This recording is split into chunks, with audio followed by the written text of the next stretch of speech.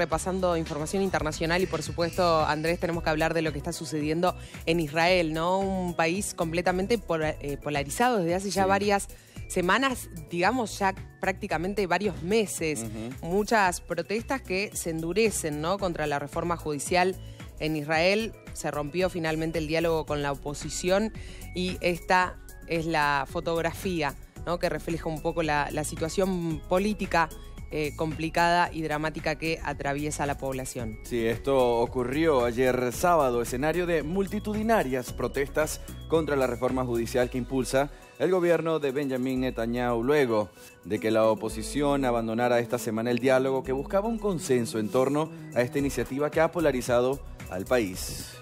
Bueno, ahí estamos compartiendo imágenes. Según los organizadores, alrededor de 120.000 personas se presentaron por vigésimo cuarta semana consecutiva en Tel Aviv para decir justamente que Israel no será una dictadura.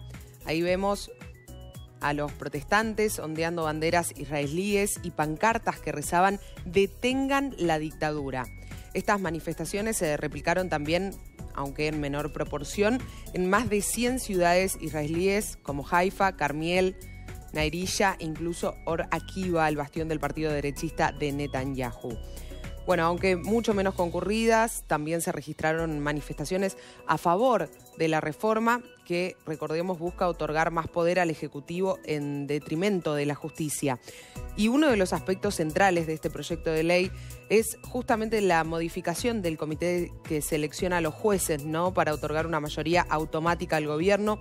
Así, los detractores de la iniciativa argumentan que erosionaría la democracia y la independencia de la justicia. Netanyahu y su coalición de derecha pues impulsan desde enero la polémica reforma, pero ante las multitudinarias manifestaciones de protestas y lo que te venimos adelantando, la polarización del país que causó, pues se paralizó su trámite en el Parlamento en marzo para ser consensuada entre gobierno y oposición bajo la mediación del presidente Isaac Herzog. Sin embargo, el diálogo no dio frutos y el pasado miércoles la oposición israelí anunció su retiro de las Esto después de que el Parlamento nombrara solo a uno de los legisladores que deben formar parte del comité de selección de jueces.